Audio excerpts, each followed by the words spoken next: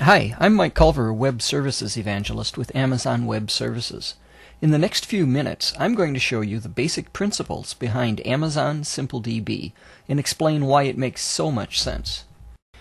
Put simply, Amazon SimpleDB is a database as a web service.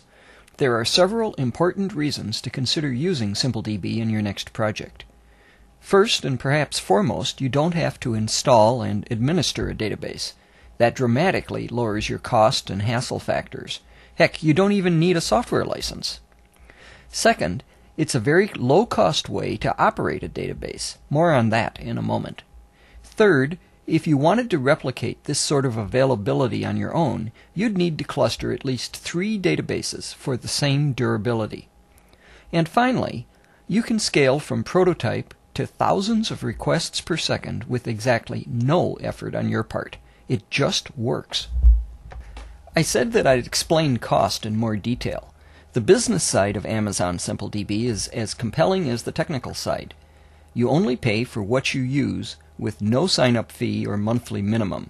We charge $1.50 per month for storage, that's per gigabyte, and the same bandwidth fees as for our other services, that is 17 cents per gigabyte for downloads and 10 cents per gigabyte for uploads, with no charge whatsoever for bandwidth between AWS services within the cloud. That 17 cent price is actually tiered, so your cost may be as low as 10 cents per gig at very high monthly volumes. In addition, there's a 14 cent per CPU hour charge for operations on the database. However, it's so inexpensive that as far as I can determine, you could perform something along the lines of a million queries for a buck. Each operation returns a box usage statistic in order that you can calculate the actual cost, and I've never seen so many zeros in front of the first significant digit. Okay, enough of that. Let's roll up our sleeves and try out Amazon SimpleDB. I downloaded this JavaScript scratchpad from aws.amazon.com and then edited it just a bit in order that my credentials are embedded in the code. Obviously, it wouldn't be too bright to record a webcast where I had to type in my secret key each time. Records live in domains, so I'll choose List Domains from the drop down list. I'll leave the parameters blank and then I'll click Invoke Request. Note that each time I click on Invoke Request, the URL changes just slightly. That's because I'm generating a signed URL that's a hash of my secret key with a variety of other parameters, including a timestamp. It's the timestamp that changes the signature each time I click. When I click on the URL, an XML document is returned that contains the name of the one existing domain, as well as box usage. If I multiply the box usage by 14 cents, I'll know the actual cost for this query. In plain English, that particular query was almost free. By the way, I've also modified this tool so that these URLs are clickable. Let's create a new domain. I'll choose Create Domain and then type in zip codes. Clicking on Invoke Request and then on the URL, I can see that the request succeeded. Sure enough, List Domains now returns my new domain. By the way, domain names are case sensitive. Put attributes is the method to insert records. Unlike a traditional relational database, there are no schemas or one to many relationships or any of that other overhead. There are only items and attributes, and everything is the same data type. That is, the only data type is a string. There are docs online that describe how to handle date and number comparisons in queries, but I'm not covering that topic here. Let's enter a zip code. Zip codes, plural, is the domain name, of course. I'll start with 98144, which is in Seattle, Washington. Next, we'll add city as an attribute, with Seattle as the value.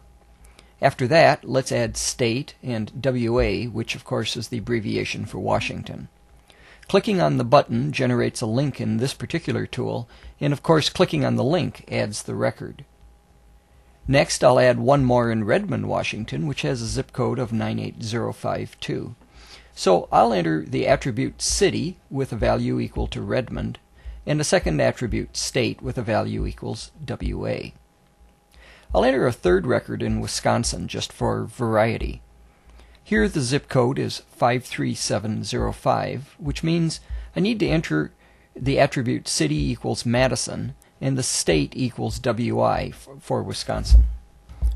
Queries are especially interesting. We'll start by choosing Query in the drop down list and then entering zip codes as the domain name. If I leave everything else blank, you can see that all three entries are returned. Note that only the list of items is returned, though. There's no attributes in the result set. This is by intent. In fact, any long running query is automatically terminated after 5 seconds in order to ensure that no single query can monopolize the system. And by restricting the returned result set to just a list of items, we are very lean and mean in terms of query execution time. There's really two good ways to return the attributes associated with each item. The first is to loop through the list returned by the query and spawn a separate thread that fetches the attributes associated with each of those items in parallel. That is, if you want the attributes for 100 items, then spawn 100 threads. Performance is amazing. If that programming style doesn't describe you, then query with attributes does all the work for you. As you can see, the entire list with attributes is returned in a single call. Finally, let's go back and look at query syntax.